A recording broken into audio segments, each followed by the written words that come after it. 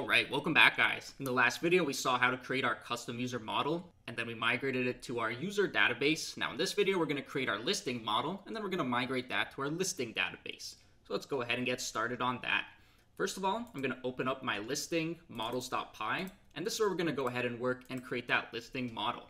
So one thing to note, I have my database running. I also have my backend running, so make sure you're doing the same. Then I'm going to close that up, close up that side window, and start working on this. All right, so I'm going to create a class of listing. And then this is going to inherit my models.model. And then we're going to have a couple fields here. So remember, we're going to have that realtor field. This is going to be my models.email field. And I'm going to have a max length of 255.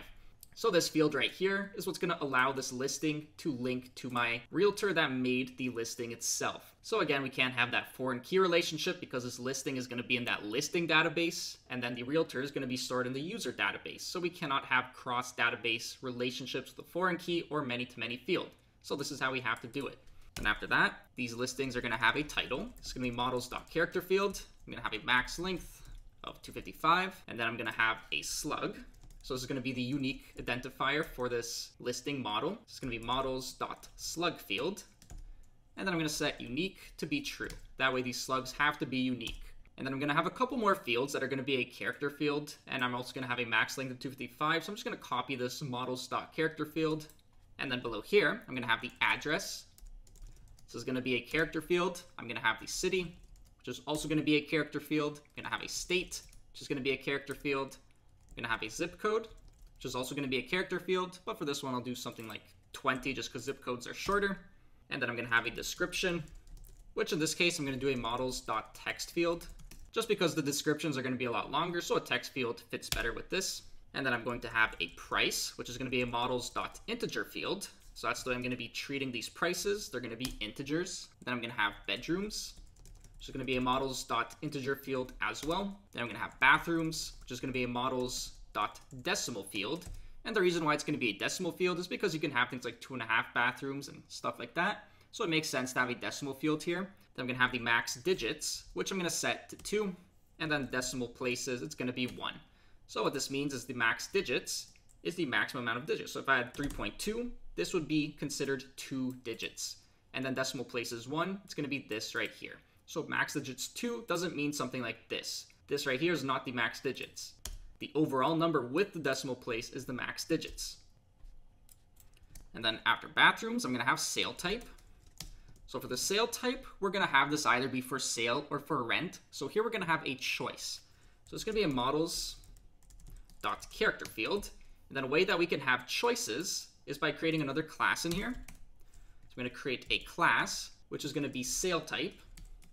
And here I'm going to pass models dot text choices. So that's what it's going to inherit.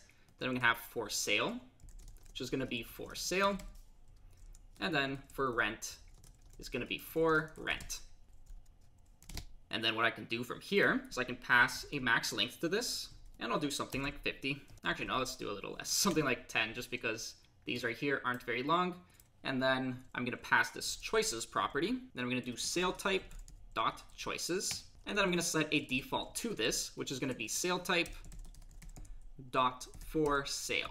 So by default, we're going to have the sale type be for sale. And then after that, we're going to have a home type. So this is going to be either a house, a condo, or a townhouse. And again, this is going to be a choice type of field. So to make this easier, I'm going to do a shift option down key to copy this down a line. I'm going to make this one a home type and then we're going to make a new text choices. So this is going to be a class of home type. It's going to inherit from models.text choices. And then for our choices, we're going to have house, which is going to be house. We're to have condo, which is going to be condo. And then townhouse, which is going to be townhouse. So these are our choices. So now I'm going to grab this home type. That's what I'm going to pass to this choices. So my choices is going to be home type dot choices. Then for my default, I'm going to do home type dot house. And then after this, I'm going to deal with my images. So I'm going to have a main photo, and then that pillow package is what allows us to work with these images. It's going to be a models dot image field, and then this is going to have an upload to property, and then I'm going to upload to listings slash. So when we create images, these are going to go in that media folder, And then that media folder, if we take a look at our core settings.py, we define these media settings down here. And then this media folder is going to be placed inside of the base directory, which is going to be this listings directory, and then in a folder called media. And then inside of this media folder, we're going to have this listings folder where we're going to place this main photo. So that's the way this is going to work. And then I'm gonna have three more photos because we're gonna have a main photo, which will be a sort of exterior photo, and then we're gonna have three interior photos. So I'm gonna copy this down three times because we're gonna have quite a few photos. I'm gonna select this main underscore part, Command D twice, remove, and then I'm gonna have photo one, I'm gonna have photo two, and I'm gonna have photo three. So again, these are all going to be image fields and they're gonna upload to the exact same folder. Then after that, I'm gonna have that is published property. So is published which is going to be a boolean field, so models.boolean field, and then the default for this is going to be false. So by default, they're not going to be published. And finally, I'm going to have one final property, which is going to be date created. And this is going to be a models.datetime field. And this is going to have a default value. And then for this default value, what I'm going to do to help me out with this is I'm going to bring in an import. So from django.utils.timezone, I'm going to import now and this is going to help me get the current date. So this now is what I'm going to pass to this default. And then finally, I'm going to have the string representation of this model. So I'm going to define this double underscore str double underscore, pass in self, and then I'm going to return self dot title as the string representation of this model. So there we are. We have our model now in place. So our next step is going to be to migrate this to our listing database. So in order to migrate this to our listing database, we need to create a router, just like we did with our user.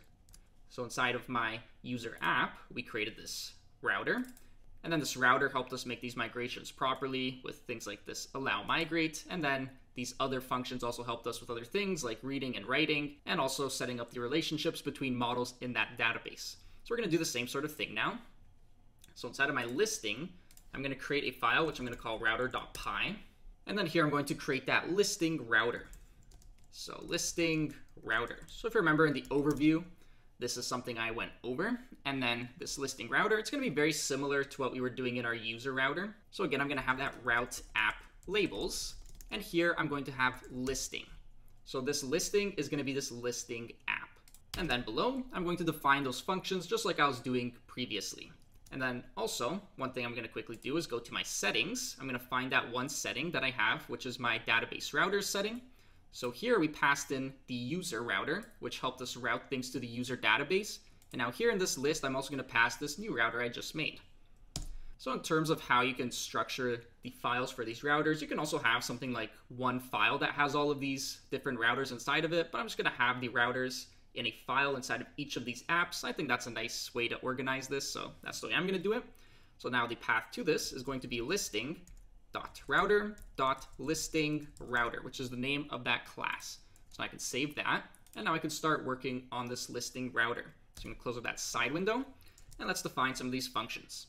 So I'm gonna define the DB for read, and then I'm gonna pass itself, model, and then my keyword argument of hints.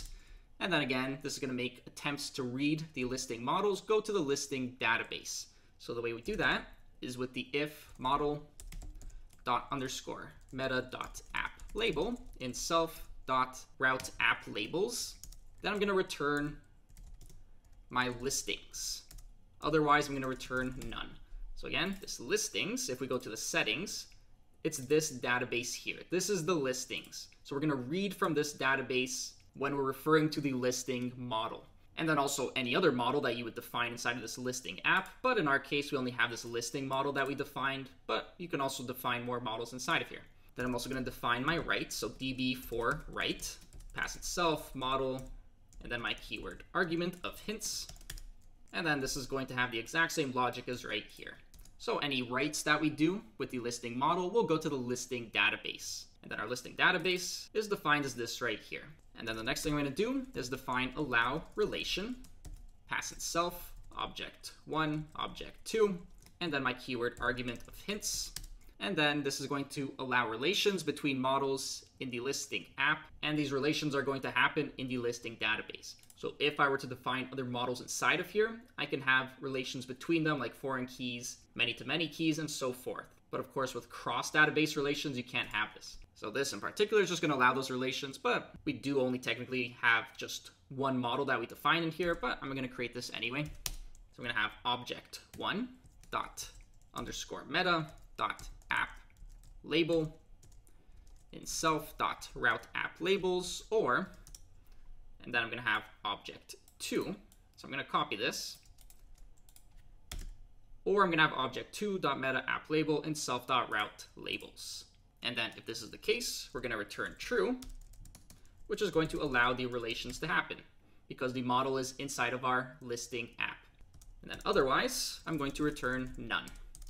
And then finally, I'm going to define my allow migrate, pass in self, db, app label, model name equal to none, and then my keyword argument of hints. So this right here is going to make it so that when we do our migrate, it's going to migrate to our listing database. So I can do an if app label in self.route app labels.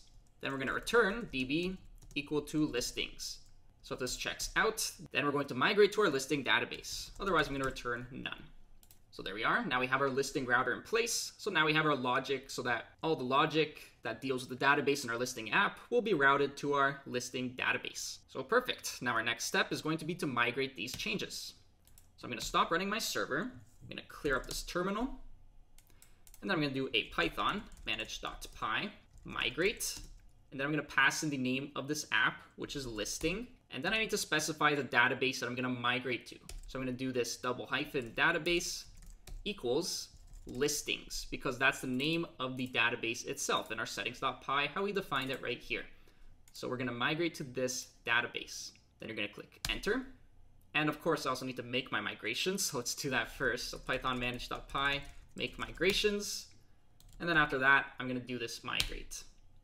And there we are. So now it applied these migrations. So now if I open up this PostgreSQL shell, so I'm going to double click here. And let's go analyze this listing database. So if I list out my databases, previously we were analyzing this listings users. Now we're going to analyze this listings listings. So I'm going to connect to this database with listings, or I guess backslash c, then listings, listings, which is the name of the database, put a semicolon. So now I'm connected to it. Then I can do a backslash dt. And then here I can see the different migrations that were made to this. And then in particular, we see this listing listing, and then this listing listing is where our listing data is going to be stored whenever we create a new listing. So the way we can think about it is our model is just a blueprint, and then that blueprint lets us create our data in this database, which is going to be stored right in here. And then we can even do something like a select star from listing underscore listing. And then here you can see all that different data that's involved with a listing. So we have the ID, the realtor, title, slug, address, and so forth, all the way down to the date created. So all these fields are going to be populated in this table. So I can press Q to exit out of this, do a backslash Q to exit from this shell, and there we go. Now we see how this works. So that's everything I wanted to cover in this video. So we created our listing model, we created our listing router, and then we migrated our listing model to our listing database. And then in our next video, we're gonna start dealing with our user-based views because we need a way to register an account, retrieve our user, and then we're gonna test out everything related to our authentication in that next video. So anyway, hope you guys enjoyed the video. If you haven't yet, please hit that like button. It goes a long way to help a channel like mine grow and get recognized so others can benefit from the videos I release as well. Also, I have links in the description that you can check out. I have one for an e-commerce course that you can check out if you're interested in learning to develop an application like that. I also have a link for joining my Web Development Kings Facebook group. That way, if you want to personally ask me something, then you can go right ahead and do that, and I'll happily help you out. Only questions I probably won't answer if you want me to help you build some kind of personal project, as I don't quite have the time for that sort of thing, but anything else is fair game. You can also post something in the group itself. That way, other developers in the group can also help you out with something as well. Their group is all about growing your expertise as a developer, so if you're interested in that, then go ahead and click that link in the description and join the family. Also, if you haven't yet, hit that subscribe button, turn on those notification bells. That way, you don't miss out when I release a new video, and I'll see you in the next one.